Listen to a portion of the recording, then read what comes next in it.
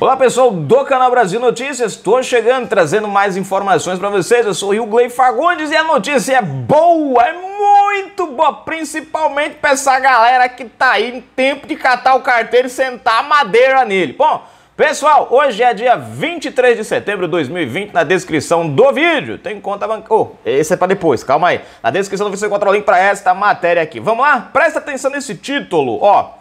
À beira da privatização, funcionários dos Correios voltam ao trabalho após reajuste de 2, após reajuste de 2,6%. 6%, 2,6%. Os Correios, pessoal, a galera dos Correios entrou em greve, lascou geral com tudo. Tem gente que tá com encomenda presa na alfândega, no desembaraço aduaneiro, né? Quem comprou aí hum, de fora, né? Por aqueles aplicativos que vendem na China, né? Tem uma pinga. Gente, eu acho que para entregar isso daí vai ser um nó que não tem tamanho, viu? Mas, mas tudo bem. Tem nego aí que tá com oito meses, gente, esperando a mercadoria. Encomenda que geralmente chega com mês, 45 dias, já fazem oito meses, né? Bom, enfim, a questão é que parece que a coisa vai andar para frente agora. Se inscreve, comenta, compartilha, deixa o seu like.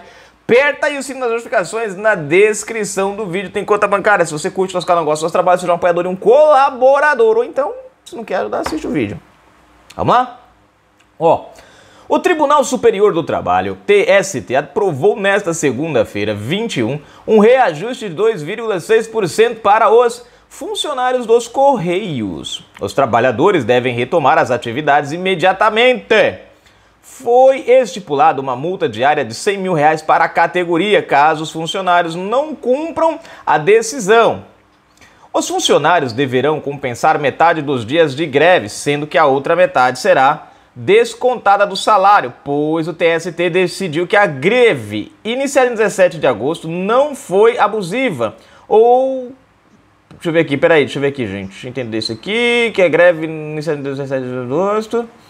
Ah, não foi abusiva ou que geraria o desconto dos dias parados.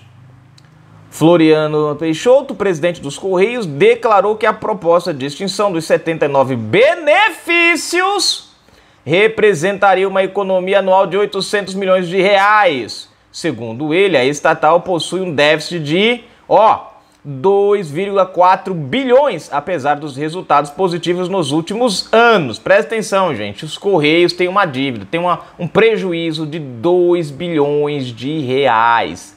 Agora, Yugley, é, por que, Yugley, isso? Por que esse prejuízo? Pergunta para o Lula, pergunta para Dilma, pergunta sobre a operação Zelotes, pergunta quem meteu a mão nos fundos de pensão. Você sabe por que você, pega, você paga 70 pila aqui no Nordeste? Por exemplo, você vê que engraçado, né, gente? Aqui no Nordeste. Aqui no Nordeste você paga 70 reais numa encomenda para vir de São Paulo para cá. A encomenda custa 30. Dá para você a molezinha? Isso chama-se priva... Eh, perdão, isso chama-se... Como é que chama? É, é, é, é... Ih, rapaz, me fugiu o nome. Estatização, ou seja, estatal, monopólio dos Correios, né? E aí meteram a mão e aí nós é quem pagamos essa conta. O TST manteve a revogação de 50 das 79 cláusulas do acordo coletivo anterior à empresa, a, a, anterior. A empresa havia revogado unilateralmente 70 delas, determinou um reajuste de 2,6% para os trabalhadores e a volta ao trabalho, ou seja, a galerinha estava de olho aí, gente, era 72 benefícios, 70 e poucos benefícios aí, né? A, a greve, gente, do, do, do, da, da, da, turma aí era justamente. Você vê que engraçado, né? É o, é o brasileiro com a faca no pescoço, né? E essa turma aí dos coitados. Tá certo, gente. Vocês têm que receber o salário de vocês, vocês estão trabalhando agora também. Vamos lá, né? Meter a faca no brasileiro também, né?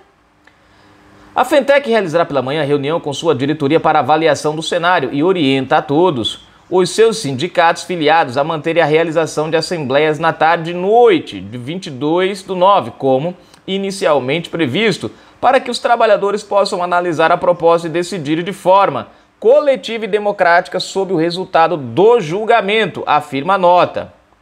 O Supremo Tribunal Federal, STF, havia mantido em agosto a decisão do então presidente da Corte, Dias Toffoli de suspender 70 das 79 cláusulas do acordo coletivo de trabalho realizado entre a categoria e os Correios. Em uma nota expedida pelos Correios, a empresa afirmou que desde o mês de julho buscava negociar os termos do acordo coletivo em um esforço para fortalecer as finanças da empresa e preservar a sustentabilidade. É, sustentabilidade que sai do nosso bolso, tá? Ficou claro que é imprescindível que acordos desta natureza reflitam o contexto em que são produzidos e se ajustem à legislação, informou a empresa. E aqui, deixa eu ver, o resultado do julgamento será discutido em assembleia com os trabalhadores nesta terça e José Rivaldo, secretário-geral da Federação Nacional dos Trabalhadores e Empresas do Correios, dos Correios similares, afirma que, para a entidade, a greve continua. O governo está em fase final de elaboração de um projeto de lei, PL, que precisará ser aprovado no Congresso para dar andamento ao processo de privatização. Ou seja, se os Correios, gente, for privatizado, sabe o que vai acontecer? O neguinho trabalha, o neguinho trabalha. Porque enquanto os Correios permanecerem estatais, bom uma coisa na cabeça de vocês, gente. Enquanto os Correios continuarem estatais, não há concorrência. Se não há concorrência, nós vamos pagar o preço que a categoria determinar para as encomendas. Você está achando bom pagar 70 reais de encomenda num produto que custa 40 reais? Eu não. E qual a opção que você tem, Yuli? Fora essa? Nenhuma, gente. Isso chama estatização, infelizmente. Segundo o general Floriano Peixoto, presidente da estatal, a desestatização dos Correios já está em andamento. O caminho da desestatização é mais indicado, pois, aliás, a estrutura, a estrutura já existente, a expertise do mercado desonerando o Estado de uma função que não é mais tipicamente pública. Opa, compreenderam? O que é desonerando o Estado? Tirando de cima das costas do Estado todo esse embrólio, quer dizer, o correio privatizado, gente, não somos nós quem vamos pagar esse rombo. Deixa eu ver, deixa eu ver, deixa eu ver, deixa eu ver, deixa eu ver, deixa eu ver, deixa eu ver. Tá aqui, gente, a, a, a, a, a matéria aqui, ó. Né? Veja só que coisa. Vamos, vou explicar para você, gente. Para você entender. Porque tem gente que fala assim: ah, privatização, privatização é ruim. É ruim, né? Deixa eu perguntar para você. Qual é o serviço hoje que nós temos que todo cidadão brasileiro já partido aprendeu a ler? Não, quer dizer, antes de aprender a ler, meu filho, já aprendeu a fazer isso aqui, ó. Já, já aprendeu da dedada. Ponta cabeça, Clay. Já aprendeu da dedada. O qual é o serviço que todo cidadão brasileiro tem? O moleque tem dois anos de idade, não sabe o que é um. Vai tá lá agarrado com o trem. Eita, acendeu aqui, tenta tocar. Tá lá agarrado com tem um tablet, do celular e. Já prestou atenção? Todo brasileiro hoje tem um smartphone, Todo brasileiro hoje tem um chip da, da, de uma operadora qualquer. Todo brasileiro hoje tem condições. Você tem 10 reais por mês? Você tem crédito por mês inteiro. Presta atenção nisso. O que era a telefonia alguns anos atrás? A telefonia era uma estatal. Aí vamos lá, Eugley. Presta atenção, vamos fazer aqui uma, um carculo. Presta atenção comigo. A telefonia era uma estatal. Vocês lembram? Eu lembro disso, gente. A galerinha mais nova não lembra, não, nem sabe disso. Você sabe quanto custava uma linha telefônica? Nos anos. Uh, no, ali nove, nos anos. Deixa eu ver aqui. Lá em 80, 90, acho que até 97 mais ou menos por aí. Não, 97 já tinha privatizado já, né, gente? Já tinha privatizado, é. Já tinha privatizado. Sabe quanto custava uma linha telefônica lá pelo, pelo lá pelos anos assim 94, assim? Custava dois mil reais. Dois mil reais. Aí você ia numa, numa loja e pedia o telefone? Não, o telefone não era assim não, meu amigo. Você, você pagava duas mil pila num telefone, esperava numa fila de espera de dois a três anos para o seu telefone chegar. E tem um detalhe, quando tá, você pagava dois mil reais, ó, gente, dois mil reais naquela época. Tu já acha caro pagar 500 pila num telefone hoje. Agora você imagina você pagar dois mil reais em 94,95, gente. Aí vamos lá. O telefone chegava com dois anos. Você ligava, rapaz, todo felizão. Pegar o telefone. Alô? Oi, é, é, tá bom, tchau, tem que desligar porque só esse oi, esse alô, tem um telefone. Já vinha o tamanho da lista da conta. Parecia um rolo de papel de tão grande. Menino, você ligar para alguém. Oi, ó, é, eu tô chegando aí, tchau. Era assim. Por quê? Porque a conta vinha alta no final do mês. Hoje todo mundo tem um telefone, uma criança tem um telefone. Hoje você liga, passa uma hora, duas, três, cinco, você cansa o osso da língua de falar, meu irmão. Você fala tanto, tanto, tanto que deixa a língua suada. E no final do mês é os mesmos 10 reais. Os meses você paga um prano, um prano. Você paga um prano, é 30 e poucos reais, 40 e poucos reais. Aí depende do seu prano. Né? E aí você, beleza, é aquele mesmo valor X. Presta atenção, gente. Olha a telefonia. O que aconteceu? Por que a telefonia hoje mudou? Concorrência. Você tem quantas operadoras no Brasil oferecendo o mesmo serviço? Várias. Ora, a mais cara, menos clientes. A mais barata, mais clientes. A mesma coisa acontece com. Você vê falar em greve da telefonia? Ninguém vai falar em greve da telefone. Sabe por quê? Porque ninguém tem que ralar. Ele sabe que se ele rodar um pouquinho, ele perde o emprego. E com a crise que a gente tá, outro vem e ocupa o lugar dele. A mesma coisa, gente, é a privatização dos Correios. Nós estamos pagando uma facada que não tem tamanho. Num, num, num frete. Sedex, ah, mas e o Sedex 10 é bom, não funciona mais. Aqui na minha cidade, gente, eu acho engraçado que eu olho lá é assim, vou fazer uma compra lá no Mercado Livre, tá lá, produto fulano de tal, pronto, eu, eu, eu, vou comprar uma capinha dessa aqui, ó, uma capinha dessa aqui, ó. um trem desse aqui custa 15 reais, 20 reais, uma capinha dessa. Chego lá, o frete tá lá, a capinha 20 reais, o frete 70. Sedex, 100 reais. Peço o Sedex, que é três dias. Demora mais do que a outra, de 70 reais. Sedex, nem Sedex hoje está funcionando, gente.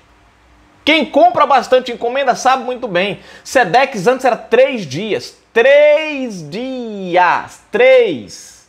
Lembram disso? Sedex 10, você comprava hoje, amanhã estava aqui. Agora não, acabou. Você não vê mais nem a propaganda do Sedex 10, acabou. Por quê? Porque o serviço foi esculhambado. A, a, a questão estatal foi jogada nas costas do cidadão brasileiro. E é tipo assim: a gente paga pelo serviço, o serviço é péssimo, é mal qualidade, rouba até umas horas. Gente, vocês viram aí agora há poucos dias aí a, a, a, a, fraude dos Correios? A galerinha fazendo fraude, desviando encomendas. Sabe por quê, gente? Porque é estatal, fio. É estatal. Vai fazer isso numa empresa privatizada, o que acontece? A peia come. Então eu sou a favor de literalmente privatizar os correios. Ó, você tem já uma, você tem umas, você tem umas três lojas interessadas na privatização do correio. Mas três lojas? Por que três lojas, O que, que loja tem a ver? Cara, você pega, por exemplo, ó, Shoptime, Americanas, uh, Mercado Livre, você pega aí a uh, Magazine Luiza, você pega Extra, uh, Ponto Frio. Essa, essas lojas trabalham com o quê? Venda online. Ora, a venda online acontece o que? Você vai buscar a mercadoria na loja? Não, eles têm que mandar entregar. Ou seja, se houver uma privatização, esses caras vão conseguir fazer um negócio vantajoso para eles e para o cliente. Por quê? Porque hoje muita, as lojas online elas perdem muitas vendas por causa do preço do frete. Gente, eu fui comprar um fogão esses dias, eu quase caí duro para trás na internet. 300, o fogão custava 7, 600 reais, 600, 700 reais, 790 porque o frete era 350 reais. Não compro, mas nem a pau. Quer dizer, a loja perdeu de vender um, um fogão por causa do frete que era no gogó. Você tá entendendo? Então, para eles, eles estão de olho nisso aí, que eles querem o quê? É, é, de alguma maneira, pegar, quando privatizar, pegar uma fatia. Por quê? Porque a loja que tiver né, um contrato com o correio privatizado, né, ela vai poder. É, é, é, o, o, o, correio privatizado ele vai ser dividido aí em algumas partes e vai ser. Como por exemplo a telefonia, vai ter várias operadoras, entre aspas, assim, vamos né, cuidando ali do correio. O que vai acontecer? Qual é a função do correio? Leva e traz. Pior que fofoqueiro, né? Leva e traz, leva e traz, leva e traz. Ora, se você tem um comércio online que depende desse, desse, desse fator, as empresas que vão assumir o correio, elas vão trabalhar justamente nessa questão de oferecer um, um, um, um, frete mais em conta para ter mais clientes. E aí é onde entra as empresas de venda. Para elas é vantajoso isso, por isso que elas estão de olho né, na questão da privatização dos correios. Porque uma vez os correios privatizados, vem a livre concorrência, oferta e demanda. Né? Quem oferece um produto, um, um, quem oferece um, um, o, o, serviço com, mais, com, baixa, com, com valor mais baixo e com qualidade, com certeza vai ter uma, né, uma clientela maior. Então você imagina você comprar um produto nas americanas que custa 50 reais, em vez de você pagar 70, você pagar 20 reais, ainda é aceitável. Né? Agora, você compra um negócio de 20 para pagar 70, não cola. E só, só acontece isso por quê? Porque é estatal. Só serviu para o PT corromper, roubar e meter o prejuízo. Ó, 2 bilhões e cacetada de déficit. Ou seja, é um prejuízo de 2, milhões, 2 bilhões nos Correios. E esse prejuízo não é de agora, gente. Ele está diminuindo, porque nos últimos tempos é que ele vem recuperando isso aí. É por isso que o PT quer manter a estatal. Se tivesse na mão do PT, esses 2 bilhões já ia para uns 8 bilhões ou mais. Canal Brasil Notícias. Fui, gente.